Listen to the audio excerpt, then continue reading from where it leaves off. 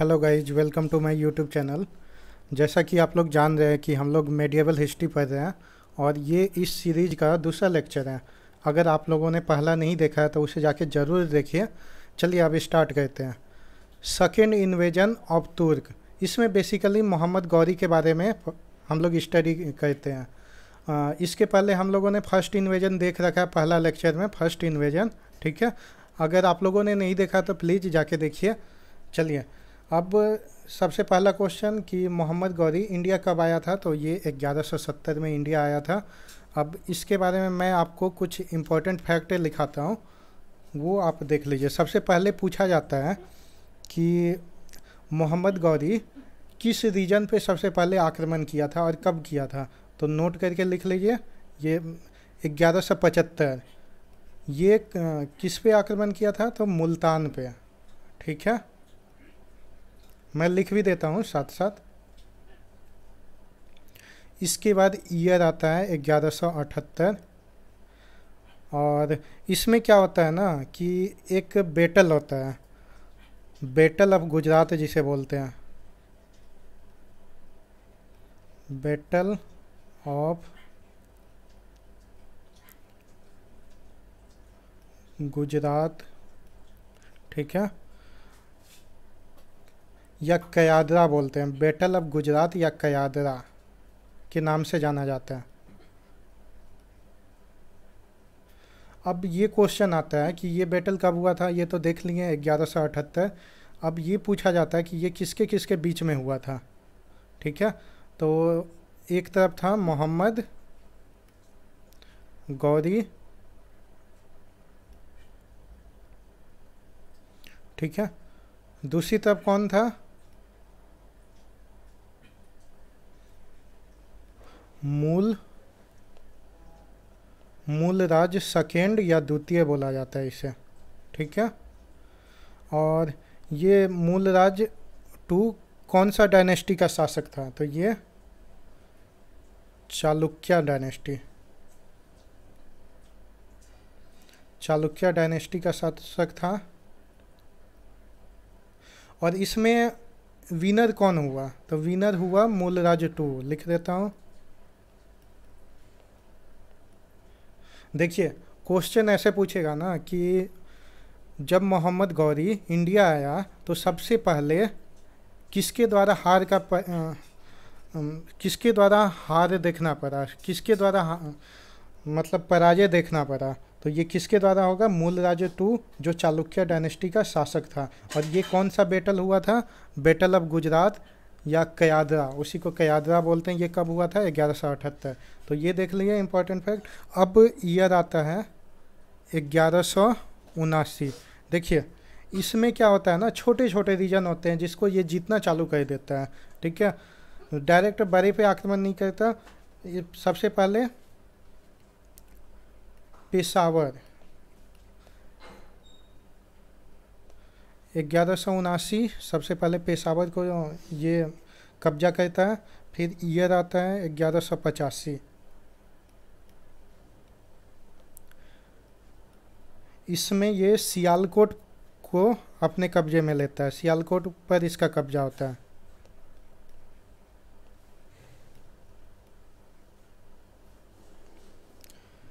फिर ईयर आता है ग्यारह सौ छियासी। देखिए धीरे धीरे इंक्रीज बढ़ते चल जा रहे हैं कि इंडिया में इसका क्या क्या रोल है कैसे कैसे आया ग्यारह सौ छियासी में क्या होता है कि ये होल पंजाब पे कब्जा कर लेते हैं। होल पंजाब।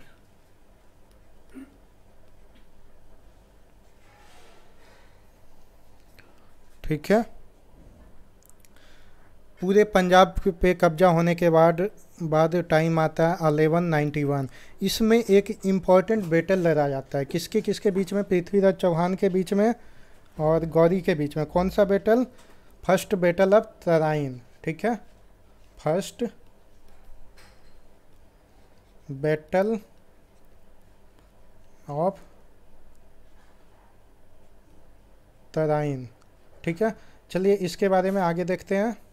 देखिए in the year 1170 Mohammad Ghori came to India ये तो आपको मैंने बता चुका कि 1170 में आया था और थ्री इम्पोर्टेंट बैटल ठीक है? Three battle fought in India ठीक है?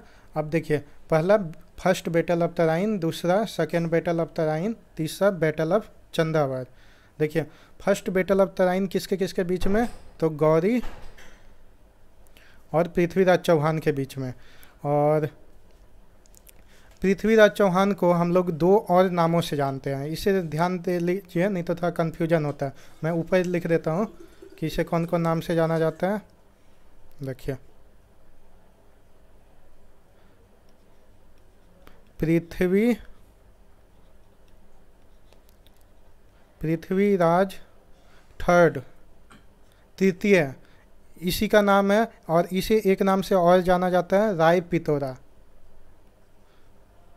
ये सब इम्पोर्टेंट है। बहुत सारा एग्ज़ाम में आपको देखने को मिल जाएगा। राय पितोरा के नाम से कौन जाना जाता है?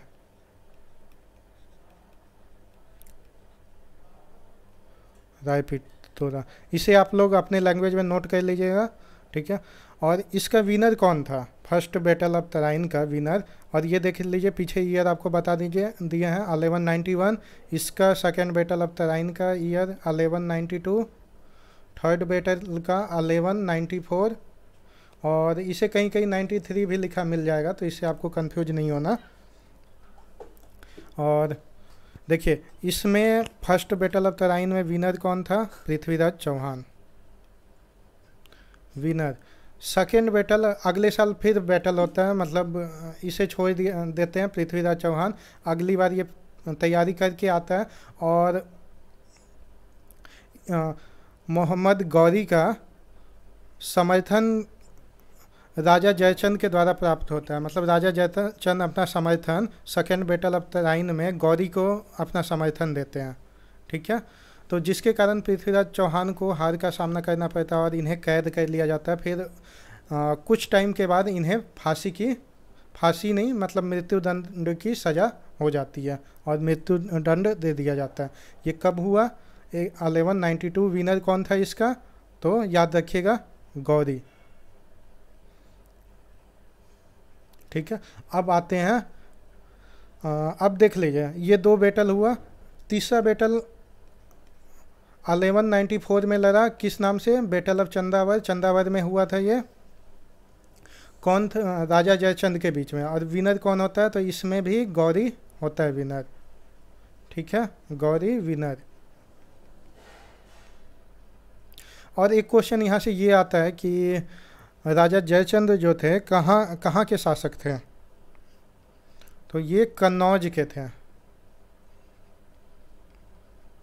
कन्नौज कन्नौज के रूरल थे, कन्नौज के शासक थे और अलेवन नाइन्टी थ्री में ही, ठीक है?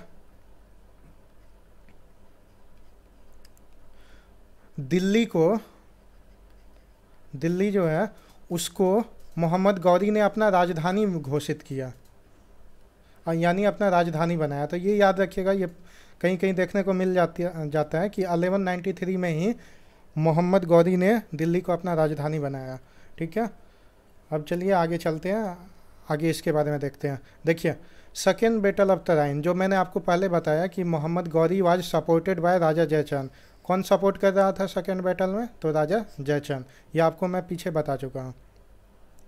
अब एक इंपॉर्टेंट क्वेश्चन ये वेरी वेरी इंपॉर्टेंट है, इसे आप लोग नोट कर लीजिए। Mohammad Ghori issue Lakshmi coin Lakshmi coin कौन इशू किया है? कौन मतलब चलाया भारत में? तो मोहम्मद गौरी। अब देखिए, उसका एक चीफ कमांडर था। नाम क्या था उसका? बख्तियार खिलजी। ठीक है? Chief commander of Ghori was Bakhtiyar Khilji और ये डिस्ट्रॉय किया था दो यूनिवर्सिटी अपना दो यूनिवर्सिटी सब जानते हैं सबसे पौराणिक यूनिवर्सिटी नालंदा यूनिवर्सिटी और विक्रमशिला यूनिवर्सिटी इसको मतलब तोड़ फोड़ किया जला दिया और कहा जाता है कि छः महीने तक नालंदा यूनिवर्सिटी की किताबें जलती रह, रही थी। और इसके बारे में कुछ इंपॉर्टेंट फैक्टर देख लेते हैं। इस टॉपिक का तो नहीं है लेकिन इससे जुड़ा हुआ है पीछे पढ़ना है। एनशियंट हिस्ट्री में कि नालंदा यूनिवर्सिटी कब किसने इस्टेब्लिश किया, यहीं पे आपको मैं बता देता हूँ थोड़ा। तो नालंदा यूनिवर्सिटी किस किसने मतलब इस्टेब्लिश किया, किसने बनवाया? तो ये कुमार गुप्ता, कुमार गुप्त, ठीक है? ये गुप्ता डायनेस्टी का रूलर था और इसे एक नाम से और जाना जाता है मतलब ये महाराजा धीराज की उपाधि धारण की थी। किस नाम से? महाराजा धीराज।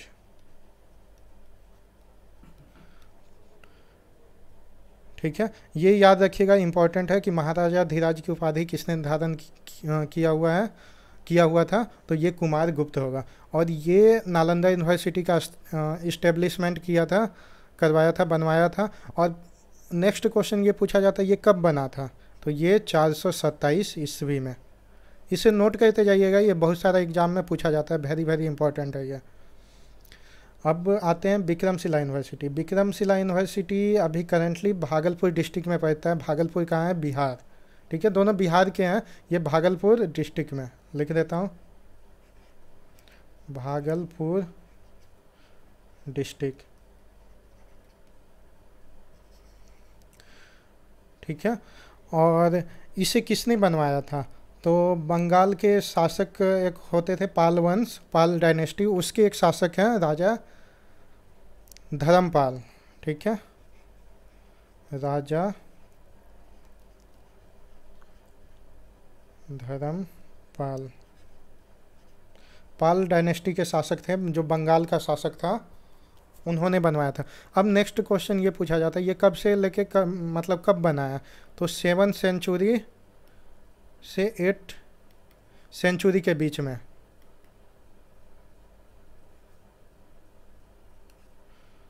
ठीक है?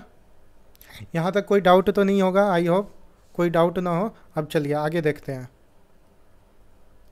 देखिए, Mohammad Ghori was killed by Khokhar tribe ठीक है? इसे खोखर ट्राइब द्वारा मतलब मार दिया गया। एक्चुअली में हुआ क्या था ना कि ये गजनी जा रहा था, ठीक है? मोहम्मद गौरी जो है, यहाँ गौरी छूट गया, लिख लीजिएगा। वो गजनी जा रहा था और पंद पंद्रह मार्च। बारह सौ छः खोखर टाइप के मुठभेड़ में ये मारा जाता है। अब इसका तो साम्राज्य तो बहुत बड़ा हो चुका था। तो इसके दे, डेथ के बाद इसका एडमिनिस्ट्रेशन जो है, इसका स्लेब स्लेब कौन था इसका? कुतुबुद्दीन ऐबक इसके हाथों में चला जाता है, ठीक है? देखिए after the death of Mohammad Ghori administration was handed by his slave Qutubuddin Aibak, ठीक है? अब कुतुबुद्दीन ऐबक के बारे में कुछ इंपॉर्टेंट फैक्ट देख लेते हैं। ये अलेवन नाइन्टी थ्री ठीक है? इसने मेरठ और दिल्ली को जीता था। किसे जीता था? मेरठ और दिल्ली, ठीक है? बाद में 1193 में ही इसे राजधानी घोषित किया गया। आप लोग को तो पता ही है, मैंने बता चुका है, ठीक है? और एक आता है अलेवन नाइन्टी फोर इसी के द्वारा मतलब ये ऐबक के द्वारा आई है, ध्यान रखिएगा। अजमेर को जीता गया।